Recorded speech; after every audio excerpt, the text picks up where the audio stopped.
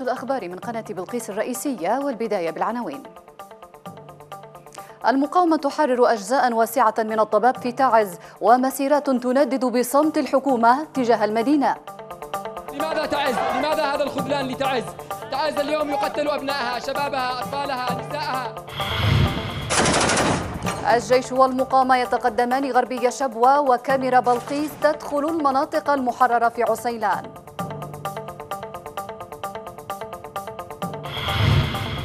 مبادرة شبابية في لحج لترميم مدارس تضررت جراء حرب الميليشيا.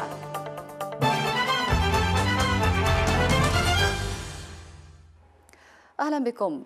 بحث الرئيس عبد الرب منصور هادي مع المبعوث الأممي إسماعيل ولد الشيخ إمكانية استئناف العملية السياسية وإحلال السلام في اليمن. وجدد الرئيس هادي تأكيده مساعي الدولة لإحلال السلام الدائم وعدم ترحيل الأزمات فيما عبر المبعوث الأممي عن تفاؤله بالتحركات الجارية لإنهاء الحرب وإحلال السلام في اليمن. إلى محافظة تعز حيث استشهد ثلاثة مدنيين كانوا على متن حافلة نقل بانفجار لغم أرضي زرعته الميليشيا في طريق الضباب غربي المدينة.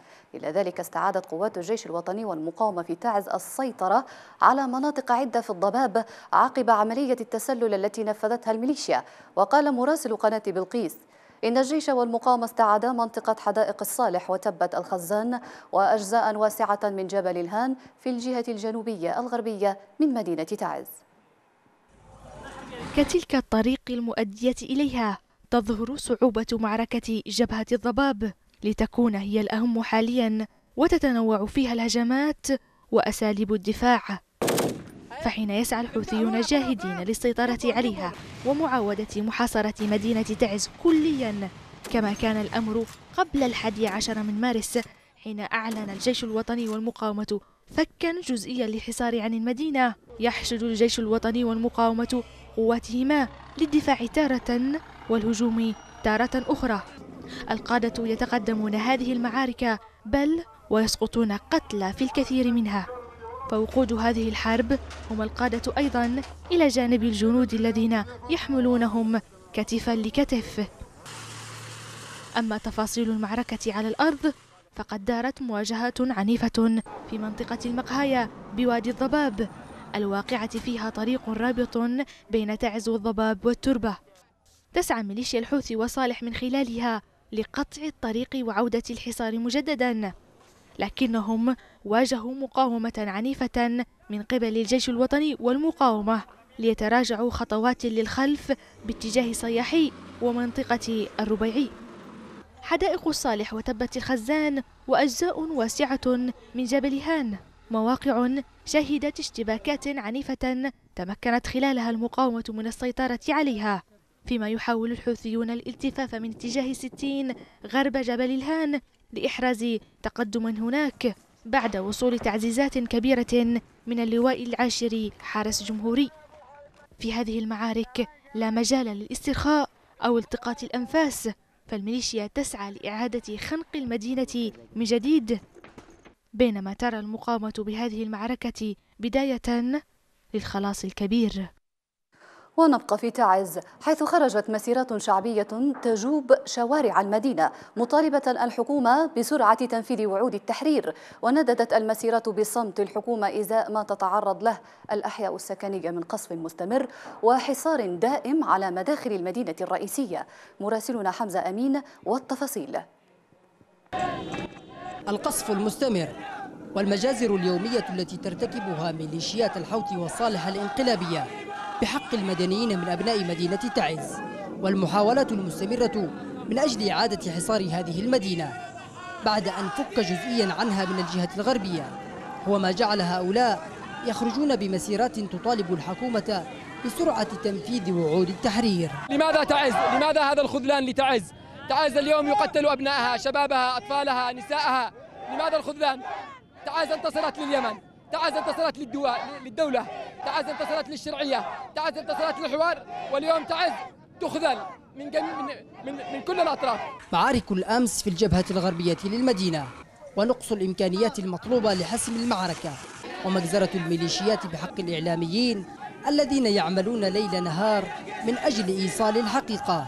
كانت سببا أيضا لخروج هؤلاء الذين أرادوا إيصال رسالتهم عبر مسيرتهم هذه. خرج اليوم شباب تعز إلى شارع جمال للتعبير عما يجري من تخاذل من قبل الحكومة في الرياض من إرسالها قوات الجيش الوطني وإيقاف الدعم العسكري لهذه المحافظة. نحن هنا شباب تعز نرسل رسالتنا إلى هذه الحكومة أن تعز مدينة يمنية تحتاج إلى الدعم. بدت الرسالة واضحة إذن فخروج هؤلاء الشباب في ظل الوضع الصعب الذي يعيشونه. غير آبهين بالقصف العشوائي الذي قد يطالهم في أي لحظة. لا يجعل الحكومة اليمنية سبيلا للتبرير سوى تنفيذ الوعود. فيما لا تزال الميليشيات الانقلابية ترتكب المجازر بحق أبناء هذه المدينة خرج هؤلاء منددين بالصمت الذي يتعرضون له من قبل الحكومة اليمنية. إزاء ما يتعرضون له. حمزة أمين. قناة بلقيس. تعز. وعن آخر التطورات في مناطق الضباب ينضم إلينا المراسل حمزة أمين. حمزة ماذا عن آخر التطورات وما جديد المعارك اليوم؟ نعم سهاء نعم. آه، بدأت المقاومة الشعبية قبل قليل هجومها الثاني بعد سيطرتها على تبة حدائق الصالح وتبة الخزال وتأمينها بالكامل آه، المطلتان على خط الضباب. المنفذ الوحيد الذي يربط مدينة عدن مدينة تعز بعدن. حيث تستميت ميليشيات الحوثي والصالح الانقلابية للسيطرة عليه وذلك بعد وصول تعزيزات لهم من طريق المخاء والحديدة وأيضا من صنعاء استهدفت بعضها بضربات من الطيران التحالف. آه، لا تزال الميليشيات حتى هذه اللحظات تستخدم الأسلحة الثقيلة بالضرب على مواقع المقاومة لإعاقة تقدم المقاومة. الهجوم الذي بدأ قبل قليل يهدف إلى تأمين الطريق وذلك بتطهير جبل هان من ميليشيا الحوثي وصالح التي نصبت العديد من القناصة في المواقع التي تسيطر عليها من الجبل. آه، أيضا في الجبهة الشرقية دارت بالأمس اشتباكات عنيفة حاولت من خلالها الميليشيات التقدم ولكن رجال المقاومة الشعبية استطاعوا صد الهجوم. آه، يأتي كل ذلك بالتزامن مع ضربات الطيران التحالف آه، المكثفة والموفقه على مواقع الميليشيات حيث استطاعت حيث استطاع طيران التحالف ضرب مواقع التي تسيطر عليها الميليشيات في محيط الأمن المركزي في بثلاث غارات منذ بثلاث غارات منذ هذا الصباح. أيضا استطاعت ضرب الطريق الواصل ما بين تبت سوفتيل والشارع العام لإعاقة لمنع وصول التعزيزات وصعود الأسلحة الثقيلة إلى أماكن الميليشيات. نعم حمزة إذا ما تحدثنا من ناحية أخرى عن خروج مسيرة شعبية في هذا الوقت آه، تطالب الحكومة وتوجه رسائل فما هي أبرز الرسائل التي تهدف المسيرة في إيصالها؟ نعم المسيرات التي خرجت صباح هذا اليوم آه، في هي مسيرات تنديد تطالب الحكومة بتنفيذ الوعود التي بتنفيذ الوعود لسرعة تحرير معركة تعز أيضا المسيرات نددت بالضربات أو المجازر التي ترتكبها الميليشيات بحق أبناء هذه المدينة في ظل الصمت وتخاذل الحكومة كما يقول الناشطون الذين نظموا لهذه المسيرة اليوم. كان معنا من تعز مراسلنا حمزة أمين. شكرا جزيلا لك. إلى شبوة. حيث قتل مسؤول عسكري واثنان من مرافقيه في كمين مسلح نصبته عناصر يشتبه انتماؤها لتنظيم القاعدة في المحافظة. وقال المتحدث باسم السلطة المحلية في شبوة سالم صائل إن عناصر مسلحة يشتبه بانتمائها لأنصار الشريعة. نصبت كمينا قرب مدينة عتاق مستهدفة العقيد طلال الكازمي رئيس دائرة الاستخبارات العسكرية في محافظة أبين. وأكد أن الكمين أسفر عن مقتل المسؤول العسكري واثنين من مرافقيه بعد بعد تعرضهم لعدة طلقات نارية. وعلى صعيد متصل تتواصل المعارك بين قوات الجيش الوطني المسنود بالمقاومة والميليشيا غربية محافظة شبوة. وبحسب مصادر محلية فإن المعارك تتركز في مناطق الصفراء وحيد بن عقيل ومناطق أخرى على أطراف مديريتي عسيلان وبيحان. أربعة أيام من دخول عمليات تحرير بيحان حيز التنفيذ تقدم الجيش الوطني فيها في مديرية عسيلان من الجهة الشرقية وتحديدا من وادي بيحان التي تتمركز الميليشيا على نطاق واسع فيه كمنطقة بيحان وعين ومنطقة عسيلان حيث لغمت الميليشيا محكمة عسيلان وفجرتها بعد مغادرتها ما ألحق فيها أضرارا بالغة بحسب مراسلنا هناك. تخضع بيحان وبعض مديريات محافظة شبوة لما يشبه عملية جراحية واسعة لكنها تحتاج إلى المزيد من الوقت والجهود الكبيرة والمزيد من الدعم. فمسرح العمليات العسكرية يتسع كل يوم بحسب الموقع الجغرافي الاستراتيجي للمحافظة. مناطق مديرية بيحان إلى جنوب عسيلان كمنطقة موقس ووادي خير وعقبة القندع الواقعة على الطريق الممتد إلى محافظة البيضاء والتي تعد واحد من أهم طرق إمداد الميليشيا. يساهم ذلك في تمدد خطوط المواجهات إذن حيث وحدات اللواء التاسع عشر مشاة واللواء الواحد والعشرون ميكا بمساندة من المقاومة من الجهة الشمالية ما يزالان يفرضان حصارا مطبقا على الميليشيا المتمركزة في جبل بن عقيل ومفرق الحما وأيضا منطقة السليم ومدينة النقوب.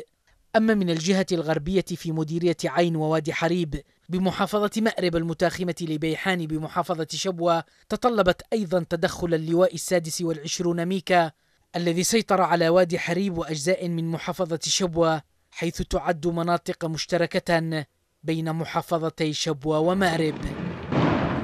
وفي سياق متصل قال المدير العام لمديرية عسيلان علي الحجري إن الجيش الوطني والمقاومة يواصلان عملية تحرير مناطق المديرية والتقدم باتجاه مديرية بيحان المجاورة. لا زالت الانتصارات تتوالى في مديرية عسيلان من الشرق إلى الغرب في أجواء المديرية. الانتصارات اللي تحققت اليوم الحمد لله في أكثر من خمسة مواقع اللي تم تحريرها. ولا زالت القوى متماسكة الجيش الوطني والمقاومة الشعبية. اللواء 21 مع المقاومة الشعبية من الاتجاه الشرقي ولواء 19 من الجهة الشمالية والغربية مع المقاومة الشعبية في مديرية عسيلان وسيتم تحرير ما تبقى من هذه المراكز داخل مديرية عسيلان وبعدها سيتم التحرك إلى مديرية بيحان. قد زارت كاميرا قناة بلقيس المناطق المحررة في مديرية عسيلان بما فيها مركز المديرية واستطلعت آراء عدد من قادة الجيش والمقاومة حول معركة تحرير المديرية. مراسلنا إبراهيم حيدرة والتفاصيل. هذا المكان هو قلب مديرية عسيلان حيث سيطرت المقاومة الشعبية والجيش الوطني بالأمس على هذه الأماكن وعدة أماكن هنا في مديرية عسيلان.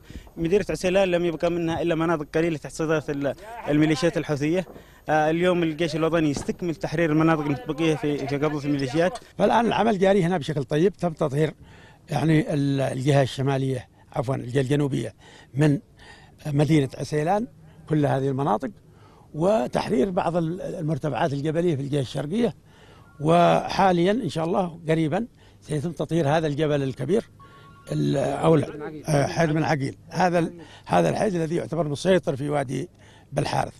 مهمة اللواء هذا طويلة تصل إلى البيضاء إلى آه، فضحة في مديريه نعمان محافظه البيضاء. هنا في مديريه عسيلان التي تحتفل بالنصر وبتحرير أجزاء كبيرة من مناطقها لكن هناك ما يؤرق المواطن هو ما بعد التحرير. في هذا الموضوع ما بعد تحريرها وطرق وسبل تأمينها نتحدث مع أحد قيادة المقاومة هنا أيضا ليحدثنا أكثر عن مرحلة ما بعد التحرير. شكرا جزيلا لهذه القناة والقايمين عليها. وأكد للجميع أن هذه المرحلة أصبحت بين أيدينا مرحلة التحرير. ولكن الذي يهم المواطن هي مرحلة ما بعد التحرير مرحلة بناء الدولة مرحلة رفع المعاناة على المواطنين. ما نودي الإشارة إليه هنا أن عسيلان تدخل في العام لم يبقى إلا سبعة أيام من دخول عام كامل من سيطرة الميليشيا على مديرية بيحان في السابع والعشرين من مارس العام الماضي. من مديرية عسيلان لقناة بلقيس إبراهيم حيدرة إلى محافظة الجوف حيث قال المتحدث باسم المقاومة عبد الله الأشرف لقناة بلقيس إن المقاومة سيطرت على جبل حام الذي كانت تتمركز فيه الميليشيا. وقد بدأت قوات الجيش الوطني والمقاومة قبل ثلاثة أيام عملية عسكرية واسعة لتحرير باقي مديرية المحافظة. تفاصيل أوفر في سياق التقرير التالي. لم تنتهي مهمة الجيش الوطني والمقاومة الشعبية في تحرير محافظات الجوف بل ما تزال العمليات العسكرية مستمرة لتطهيرها كليا من قبضة ميليشيا الحوثي والمخلوع صالح. المعارك الأخيرة نتج عنها سيطرة قوات الجيش الوطني على مديرية المتون المحاذية لحرف السفيان في عمران وأجزاء واسعة من مديرية المصلوب وكذا سلاسل جبال سدبا وسد العكيمي غرب المحافظة. وقال الناطق باسم المقاومة الشعبية عبد الله الأشرف إنهم سيطروا على جبال حام الأسفل حيث كانت تتخذه الميليشيا معسكرا لقواتها مؤكدا توسع المعارك باتجاه جبل حام الأعلى والمناطق القريبة منه والممتدة إلى مديرية الزاهر. المواجهة أحدثت خسائر في صفوف الميليشيا حيث أعطبت المقاومة وقوات الجيش الوطني عددا من الآليات العسكرية واستولت على أسلحة مختلفة. ووفقا للمركز الإعلامي التابع للمقاومة الشعبية فإن عددا من القيادات الميدانية لميليشيا الحوثي قتلت في المعارك الأخيرة. إلى جانب العشرات من المقاتلين القادمين من المديريات المحاذية لمحافظة صعدة معقل الميليشيا. وبهذا ما تزال الحرب ضد الميليشيا والقوات الموالية لمخلوع صالح في الجوف تتوسع يوما بعد آخر فيما تزال عدد من مديريات المحافظة خاضعة لسيطرة الميليشيا وهو التحدي أمام قوات الجيش والمقاومة الشعبية.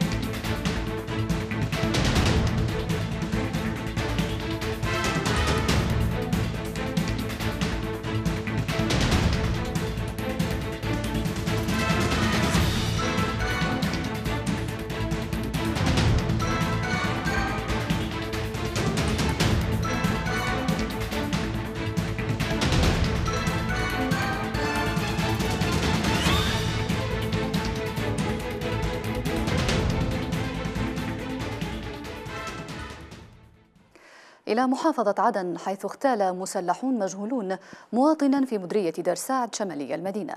وقالت مصادر إعلامية إن مسلحين كانوا على متن سيارة أطلقوا النار على المواطن طه أحمد سيف أثناء مروره قرب منزله فأردوه قتيلا ولذوا بالفرار عقب الجريمة.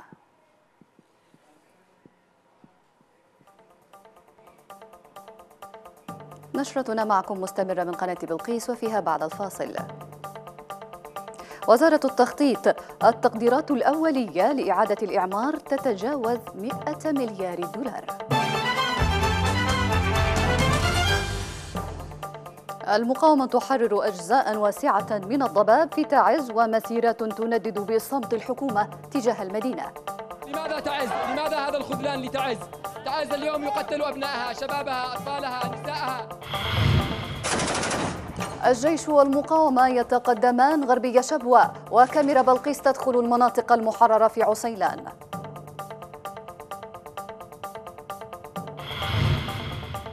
مبادرة شبابية في لحج لترميم مدارس تضررت جراء حرب الميليشيا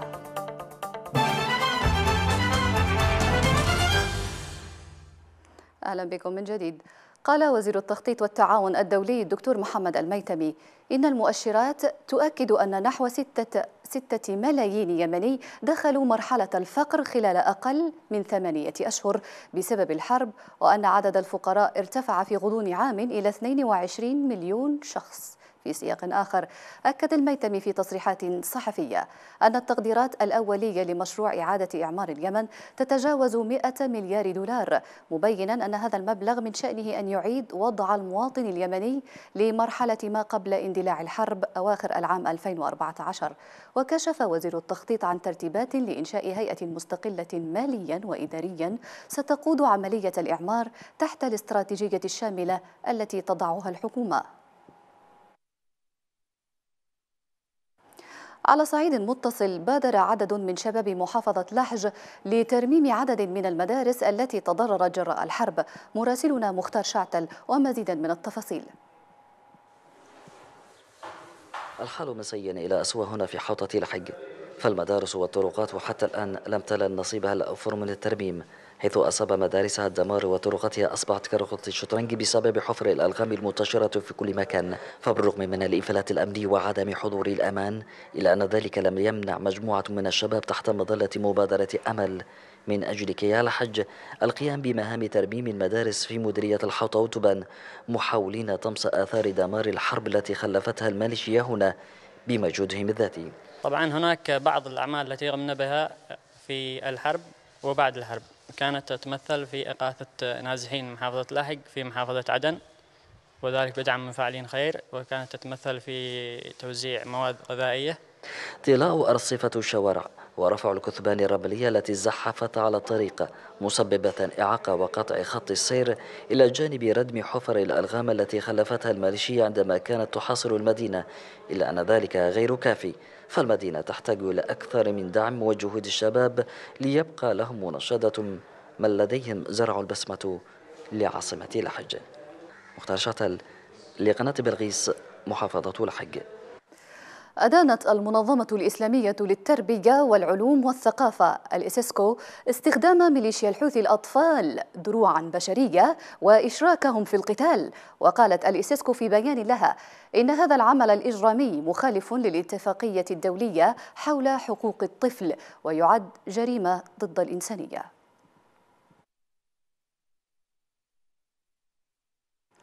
دانت نقابة الصحفيين اليمنيين استهداف الميليشيا لعدد من المصورين الصحفيين في منطقة الضباب في مدينة تعز ما تسبب باستشهاد المصور محمد اليمني وإصابة أربعة آخرين. وحملت النقابة الحوثيين مسؤولية هذه الجريمة التي أضيفت لسلسلة الجرائم والانتهاكات التي ترتكب بحق الصحافة والصحفيين. مشيرة إلى أن هذه الجرائم لا تسقط بالتقادم ولن يهرب الجناة من العقاب. حثت منظمة العفو الدولية واشنطن ولندن وقف أي تسليح يستخدم في الحرب الدائرة في اليمن التي تشهد انتهاكات خطرة للقانون الإنساني الدولي. ودعت المنظمة مجلس الأم مجلس الأمن الدولي إلى فرض حظر شامل على نقل الأسلحة إلى اليمن وأكدت أنه بموجب القانون الدولي الإنساني فإن كافة أطراف النزاع ملزمون بحماية المدنيين.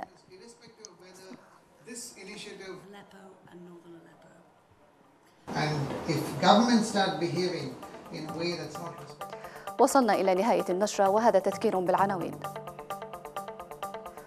المقاومة تحرر أجزاء واسعة من الضباب في تعز ومسيرات تندد بصمت الحكومة تجاه المدينة لماذا تعز؟ لماذا هذا الخذلان لتعز؟ تعز اليوم يقتل أبنائها شبابها أطفالها نسائها الجيش والمقاومة يتقدمان غربي شبوة وكاميرا بلقيس تدخل المناطق المحررة في عسيلان.